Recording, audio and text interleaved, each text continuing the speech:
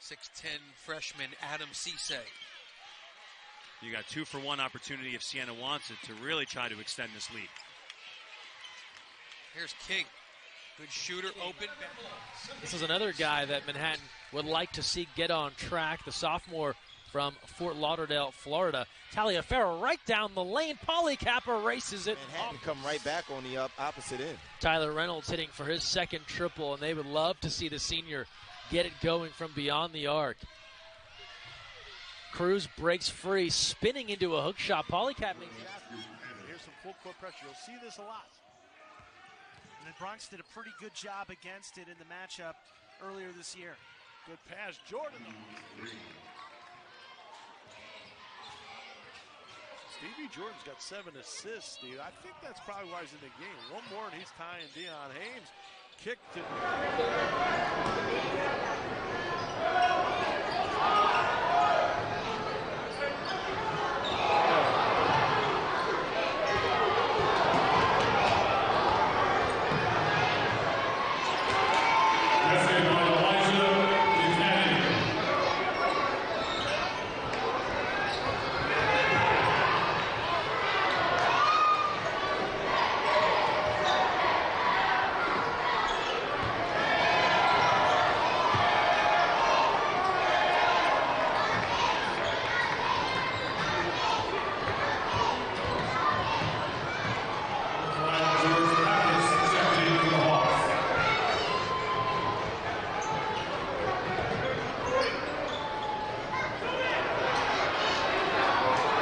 17, 17.